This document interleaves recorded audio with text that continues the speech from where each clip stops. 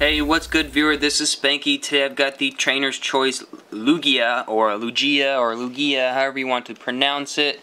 Um, Trainer's Choice is kind of like a special series that Tomy Takara has been doing. They've been rolling them out. They've uh, had a series before this, but they're coming back and they're doing a lot better than they did before. I'm not sure what exactly the one means up here, because I know, like I just said, that they have done a Trainer's Choice series before this, so this should be technically two. I have no idea how the numbering's working, or if this is just a really long extension of one, because the other ones came out like a year ago. But enough of that. I will be doing the rest of these legendary figures like Rayquaza, let's see, Kyogre, and Go Groudon. There you go. I got it. I'll be doing those ones as well, so stay tuned and watch all of those. But for now, let's just open this one up. So here's Lugia out of package, looking pretty fierce.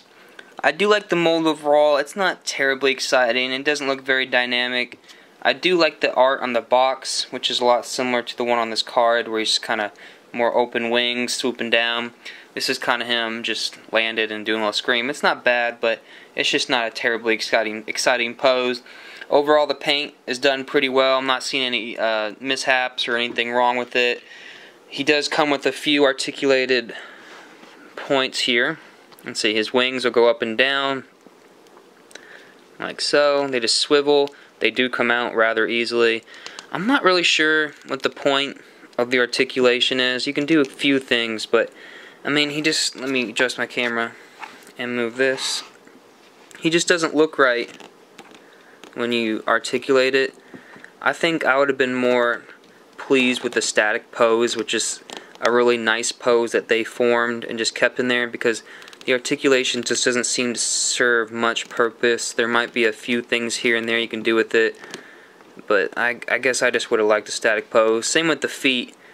I mean, there's just not much you can do when you move the feet other than the pose that they were predetermined to be set in. So probably something like this with this foot back and this one forward. I just don't see any other pose but this. You can change a little bit, but hopefully you guys are understanding what I'm trying to say is that the articulation, while is neat, just doesn't seem to serve much purpose in the overall figure because it seems as if it was made for a static pose, so why give it articulation?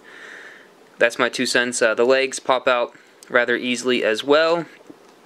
And I missed this on the Rayquaza review but I'm always complaining about the giant, you know, product codes and stuff like that on the Tomy Takara figures. So this time I'm gonna give him a little praise and saying, you know, congratulations on finally hiding the product codes and not using those ugly, ugly codes that you guys do before. The ones I'm talking about are like the ones right here in the back. But trust me, there are some that are way worse. Watch one of my other reviews and listen to me complain about that for 25 minutes not 25 minutes, you know, but I'm over exaggerating, but I do complain about them a lot. So congratulations for finally hiding the code. This is great. It's underneath where you can't see it. No one's ever going to notice it. It's not ugly on the back and huge, so congratulations. There's a little one right here, but I didn't even notice it until just now. So finally, thank you for hiding that product code. Good job. Keep doing that. Um, let's do a quick size comparison. So here's Lugia compared to a D-Arts Blastoise, a 3 to 4 inch Mega Venusaur, and a quote-unquote normal size Tom Tomy Takara Charmander. And I say normal size because there's not really a scale in a Tomy Takara, but this is about the size that they've traditionally released in the past. These Mega Venusaur and other Mega Pokemon they've released in the past are a bit bigger than these ones. And then I believe they're calling this Legendary scale, don't quote me. And then this is the biggest scaled figures that Tomy has released so far, and this is actually made by Bandai Japan, so not even the same company, I don't believe. They might be the same company, but definitely not the same makers. It's not Tomy Takara. They're not affiliated in that sense. Um, there is no real scale to scale at all. I mean, Lugia is definitely much bigger than Charmander. Um, a little bit bigger than Blastoise, I believe.